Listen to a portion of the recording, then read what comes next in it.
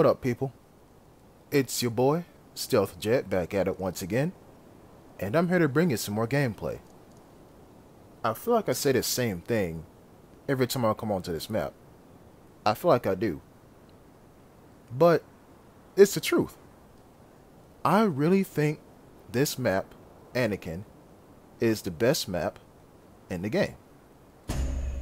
I mean, it's not my favorite map, that's Valley.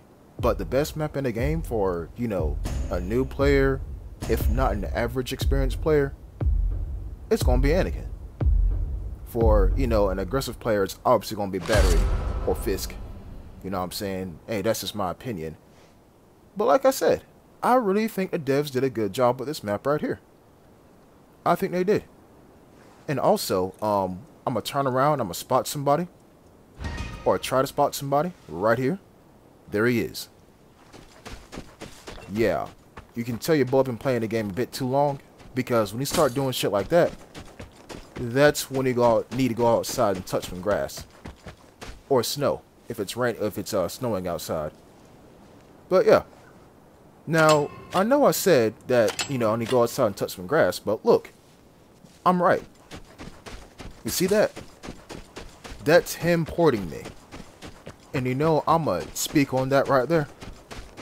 If somebody uses a port at the very start of the match, that just tells me A, they're afraid and they're relying on their ports to guide them, or B, or and or B, they don't know the map. Not really the map, not the map, more like they don't know spawn points. Because if you're using a port at the start of the match, you're obviously trying to find the person who's nearest to you.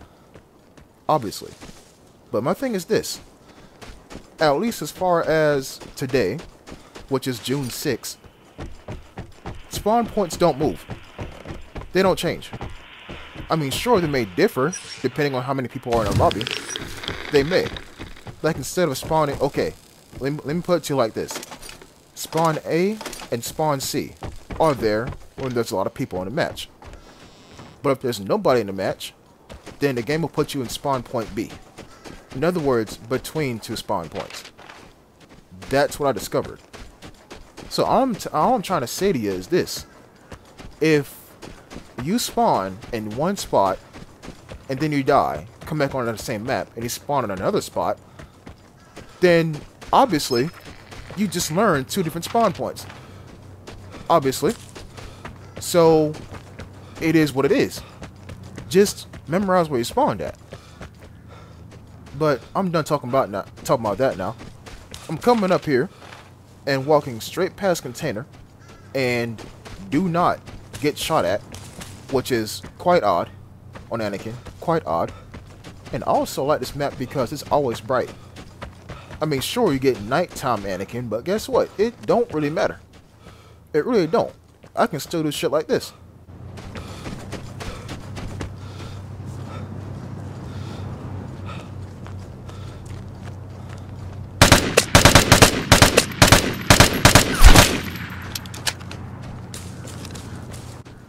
Yeah, I say this time and time again, but as soon as you see somebody, you can track him down, and you can get him. And luckily for me, this guy had a nice little secondary as well, a PA.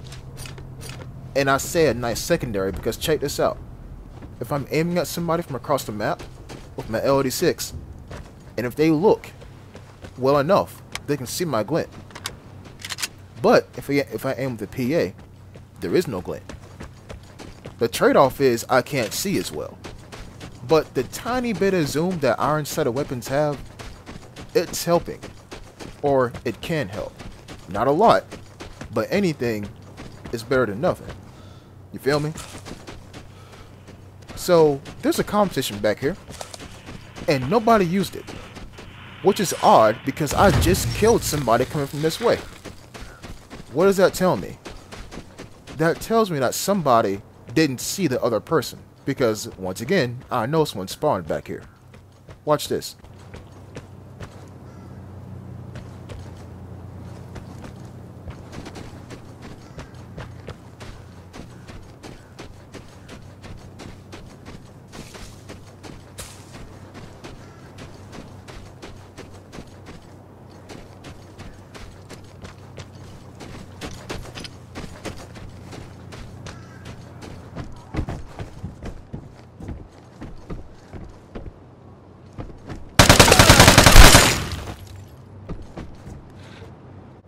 Listen, there is a very, and I mean very specific reason as to why I took the path that I did. I took the path that I did because I could hear people in houses. But what made me hear this guy? You know those blue boxes with ammunition and a caffeine pill and other shit in there too? Every time you tick on one of those combination locks, it gives away a sound. And I heard that tick. And I know my stuff when it comes to this game for the most part, like 20%. blue boxes are only on the second floors of houses. I mean, I know, I said about 20%, meaning I could be wrong. I could be wrong. Okay, so boom, I pick I picked up the phone. Great. Where is uh where's the guy? Well, it's Anakin. I don't gotta look far. And he don't gotta look far as well to find me. I'm gonna do something here that I don't suggest y'all do. I'm gonna run out in the open and try to draw this fire.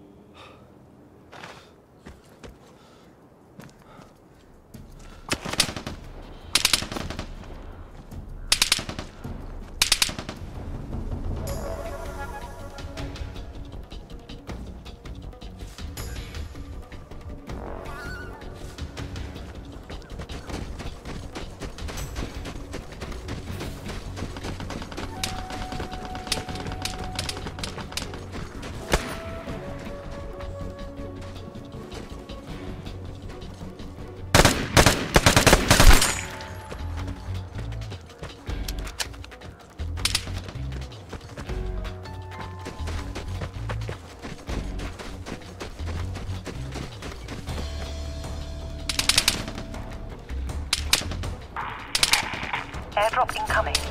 Get ready.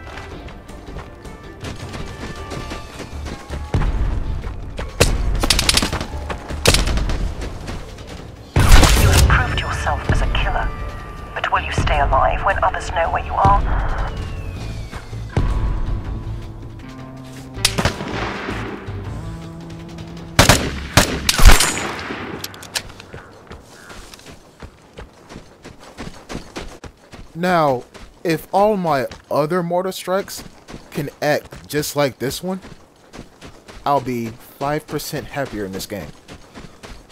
5. That worked out. But here's the here's the thing, right? I wouldn't have got that guy unless the fifth guy that I killed was here. Cause he forced him up that lighthouse.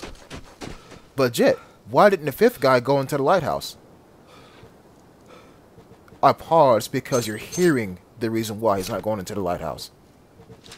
My phone duel from the this is a recap. My phone duel picked up the phone, then I picked up the phone, and he saw me. He tried to shoot, suppressing fire type shit, I guess. Then he realized, oh shit, he's coming for me. I gotta move. And so he barricaded himself in that lighthouse and some way, somehow, my fifth kill ran into my phone duel, and that created even more chaos for him. Homeboy was either going to die on that lighthouse due to radiation or due to me. One of the two. Or, actually, the third option would be him, him killing me because, you know, the height advantage. Yeah. Now, if you're wondering, Jet, why are you running back into the field? Remember that, uh, the time safe that went off?